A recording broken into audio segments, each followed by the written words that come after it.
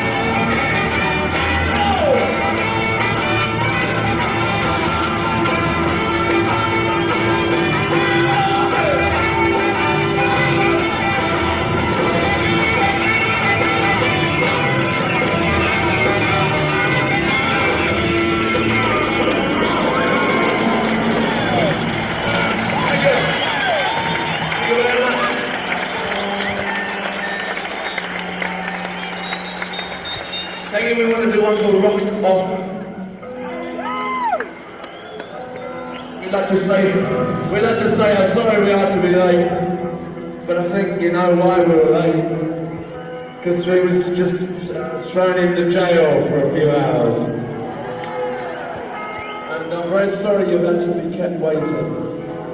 All right, let's go.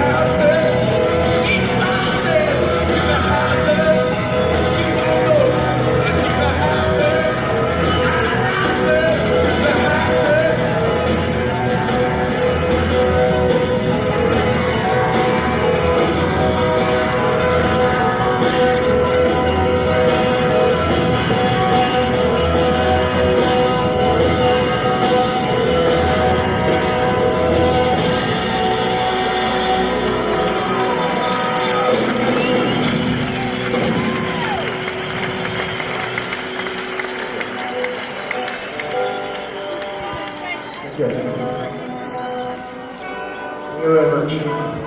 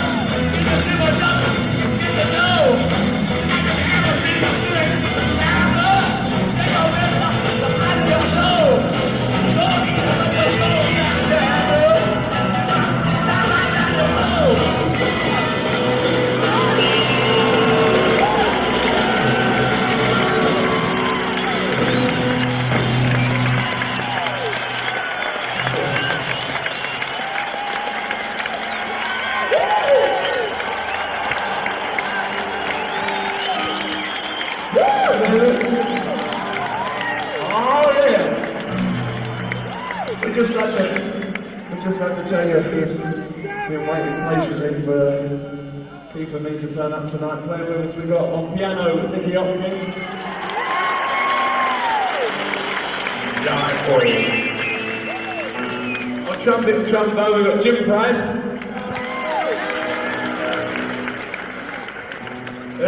money and the soda truck.